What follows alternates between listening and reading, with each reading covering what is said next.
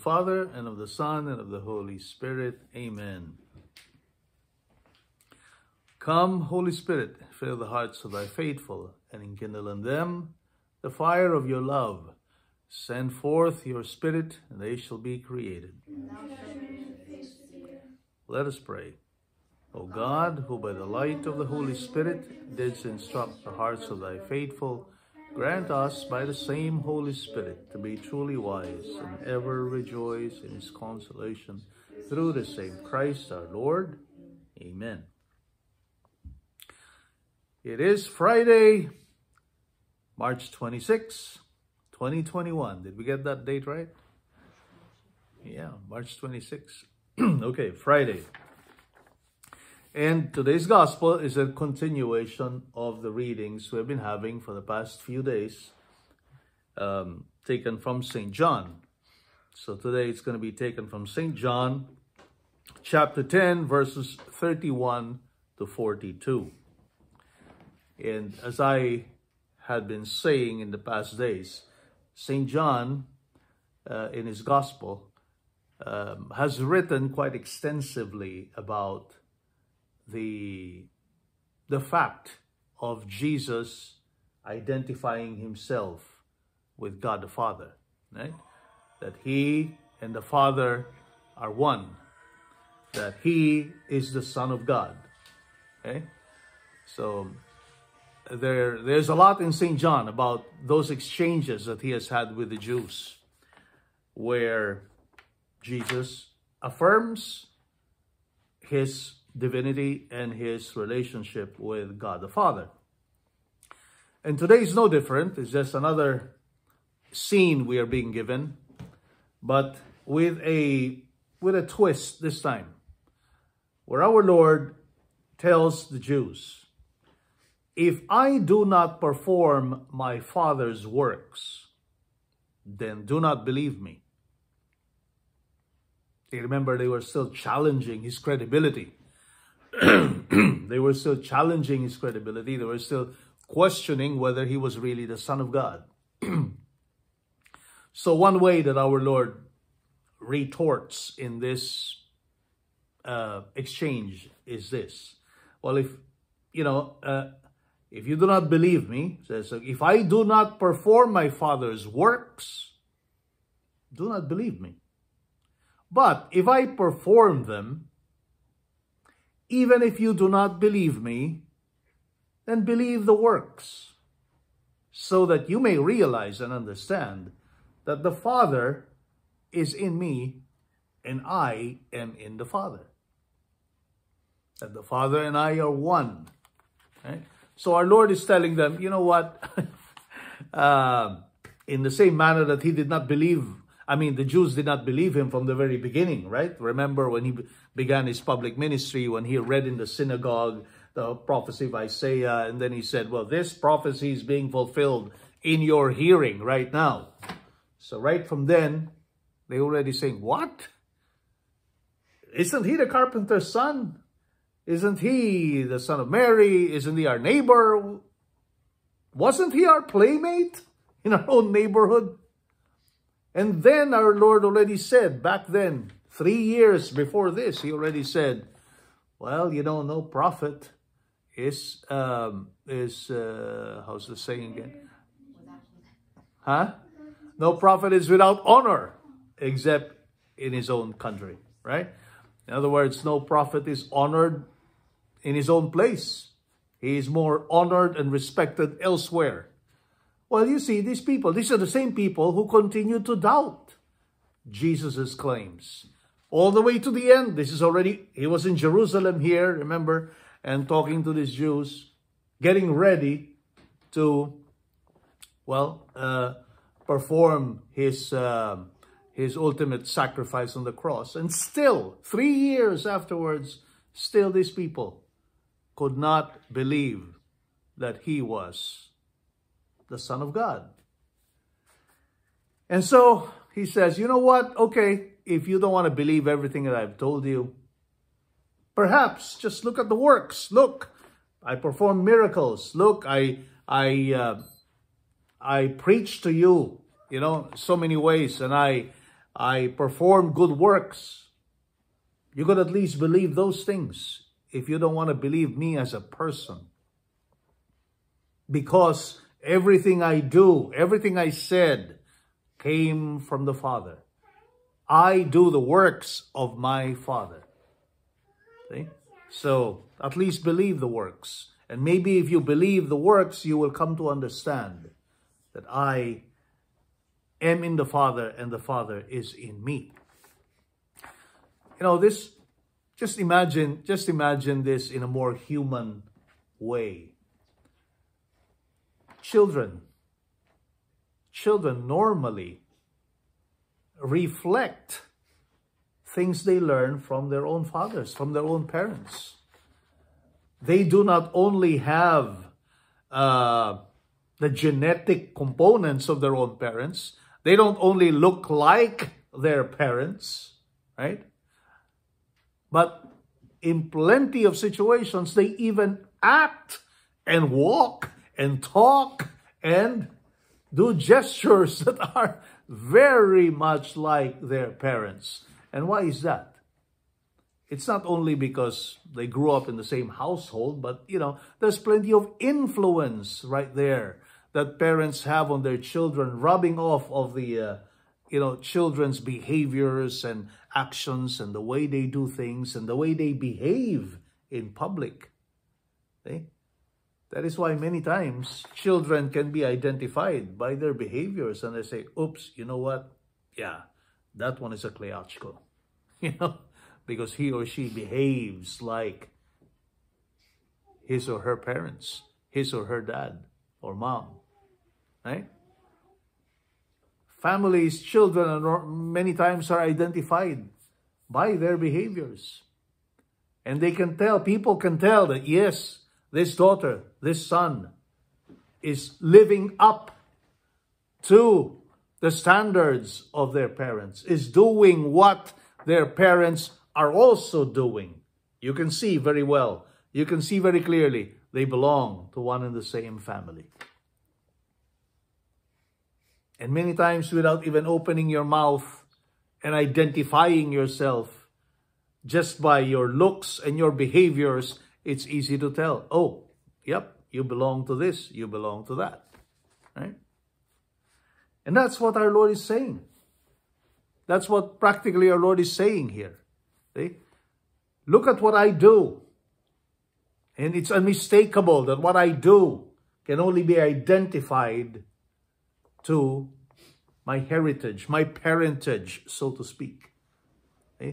Can only be traced back to my Father, who is God, because I do the works of God. And the same thing can be said about the devil. I mean, anybody who subscribes to uh, evil and the devil, well, what do you think are they going to do in life? What, how do you think are they going to behave? in life, right? They are also going to be manifesting the works of the devil, which is what? All the vices, all the sins that you could imagine uh, are possible for anybody who emulates the devil.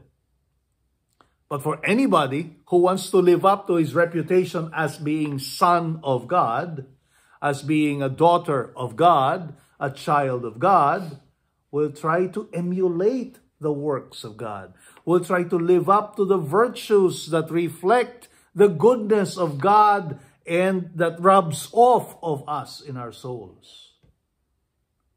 We will reflect that. And we will be proudly walking about, chin up, saying, I am a son of God. I behave like God my Father.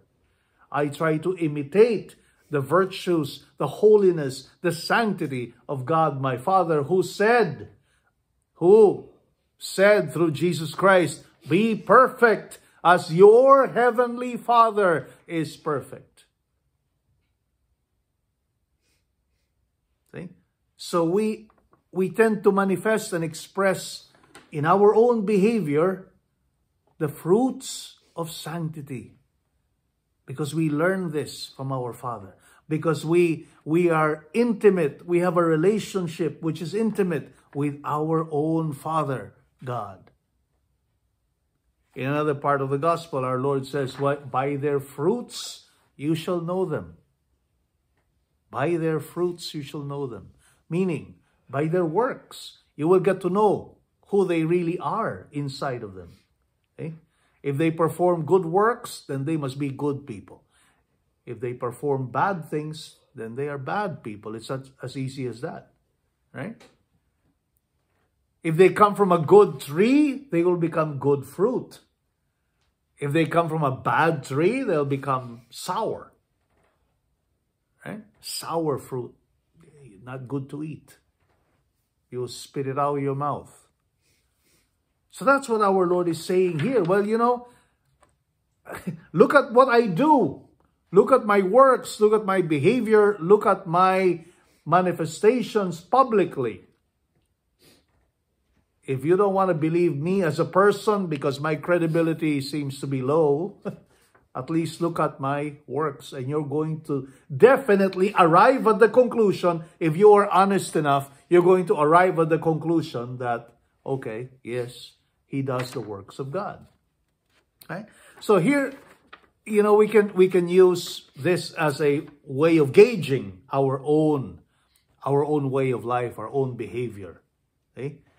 Can we also make that claim that we are sons and daughters of God? Can we make that claim? Can we be like Jesus here who will say, if you look at my works, you will realize that the Father is in me and I am in the Father. Okay? Can we also make that claim? That we can say, well, you know, look at how I behave. By my behavior, you will see that I carry God in me, that I have God in my soul in grace.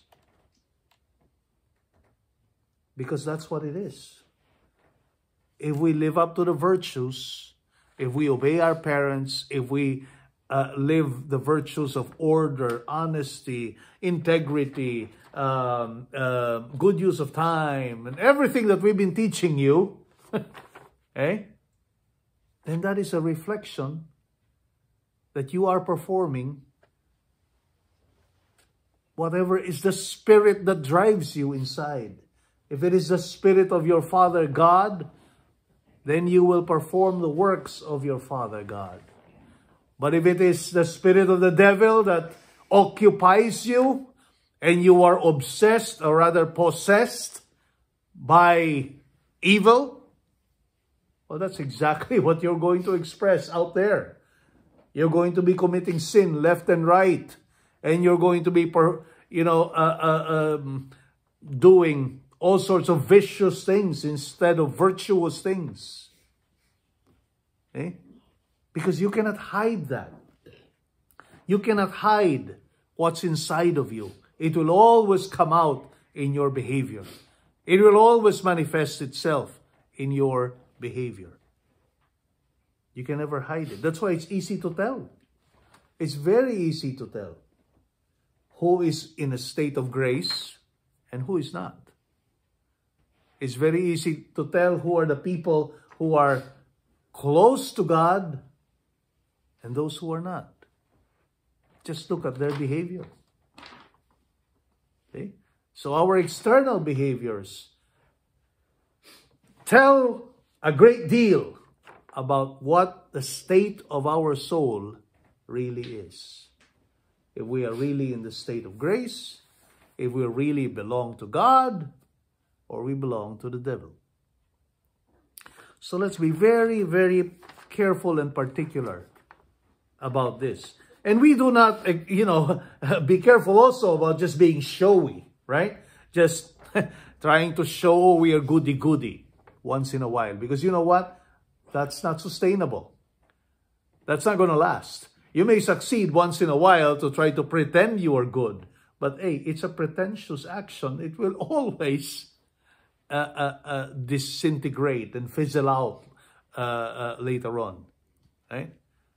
Because only, only a, a, a person who is truly grounded in God and in virtue will manifest behaviors consistent with what is inside of him. If his behavior is just for show,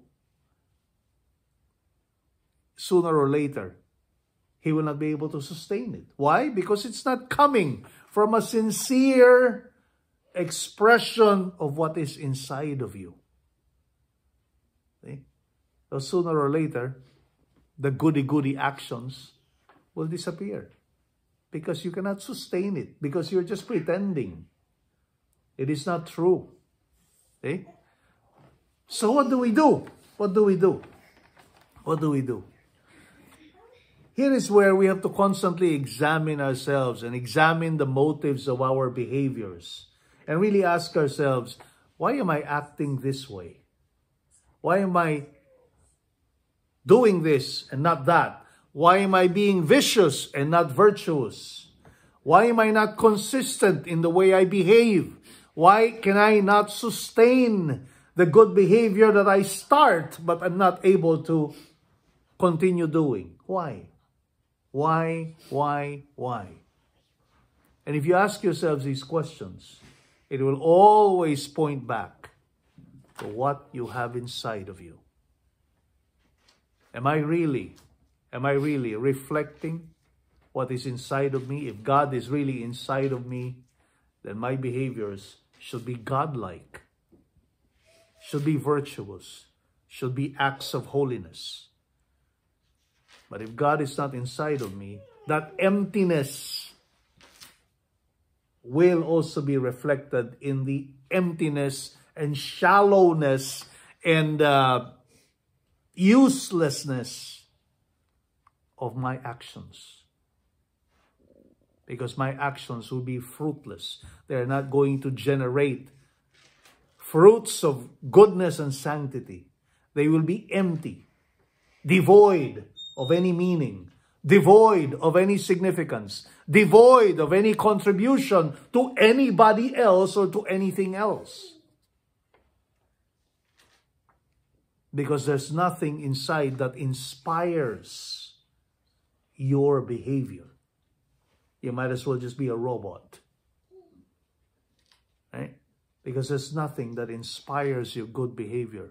You're just complying. Like when you're told to do something, your parents told you do something, do this. Okay, you drag your feet and go ahead, do it. You're not doing it willingly. You are not doing it out of genuine obedience. You are not doing it out of real love for God. You're just doing it because I was told to do it. See, it's an empty, fruitless, unproductive behavior which could have, which could have produced in you a, a, a fruits of sanctity. It could have sanctified you a little bit more. It could have brought you closer to God if that work that you did, that obedience that you expressed was a genuine obedience, a sincere obedience that was a fruit of your sincere and, and truthful relationship with God. But if God is not in you, and God is not inspiring your behavior, then whatever goody-goody behavior you perform is fruitless, useless. It doesn't bring you any closer to God. It does not contribute to yourself and to others. It doesn't do you any good and doesn't do anybody any good. Okay? And that is why people get tired of doing good works. They get tired of it because it's unsustainable, because it's insincere.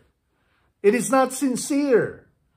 Eh? Why? Because there's nothing to inspire them inside to be sincere in the good works they're doing. Because they don't have God. It's only God inside of you through grace, eh? God residing in you through grace, that will inspire you to do good things.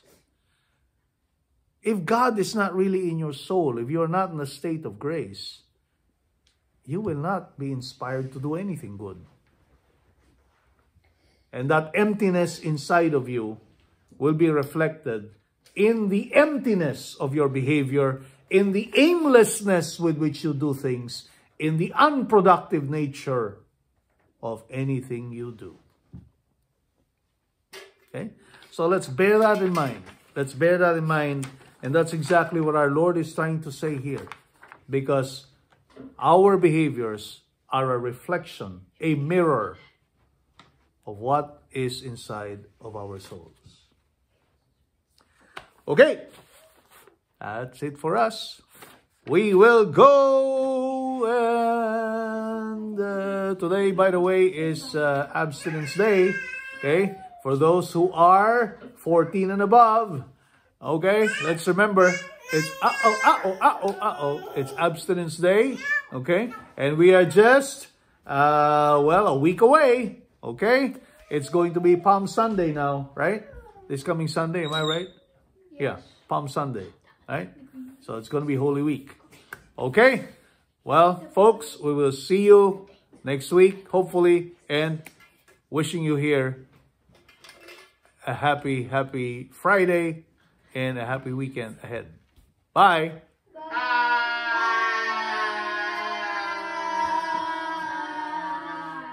Our Ava is busy. Okay, bye-bye now.